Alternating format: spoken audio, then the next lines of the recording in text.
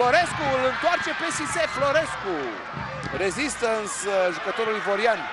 Fază contrată de Bodișteanu, este faul clar. Nu cred că nu dai lovitură liberă aici, îmi pare rău. Nu cred că nu dai lovitură liberă aici.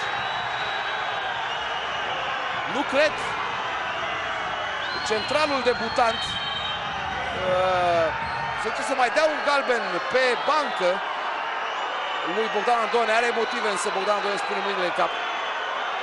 Nu cred că m-am înșelat. Mie faultul mi se pare nu clar și deosebit de clar. Bogdan Andone nu bagă în seamă. Riscă să sufere o eliminare.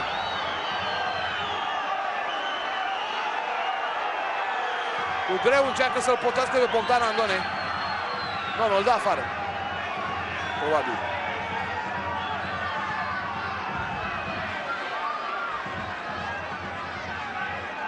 Da, îl dă afară.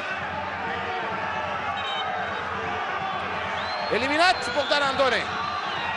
Nu trebuie să fie atât de îndrăjit uh, domnule Moldoveanu. Are dreptate pentru că Bogdan Andone și-a pierdut cumpătul, și-a pierdut cumpătul după o gravă greșeală de arbitraj.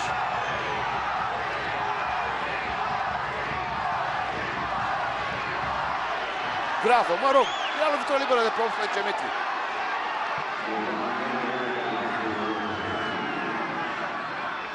Sau nu a fost? Nu mai sunt convins în acest uh, unghi. Dar în transmisiune directă mi s-a părut că faultul este clar. În fine, intră Samuel Teleș în locul uh, omului care a deschis scorul, Pop, și care a mai avut o mare ocazie pe finalul uh, primei reprize. O schimbare, un caracter defensiv după.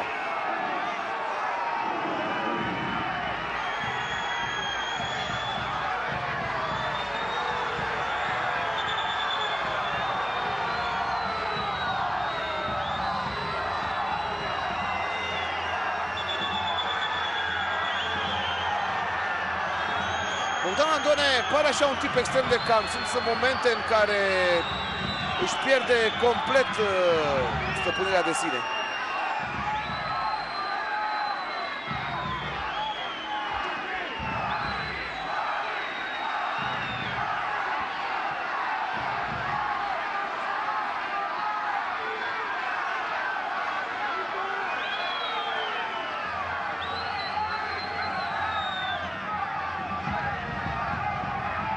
E faul clar, spune Miron și are dreptate. Da. V-am spus, reluarea pe care am văzut-o m-a făcut să nu mai fiu atât de sigur, numai că în transmisiune direct atunci când uh, mișcarea este fluidă și parcă vezi mai bine, mi s-a părut că faultul este indiscutabil.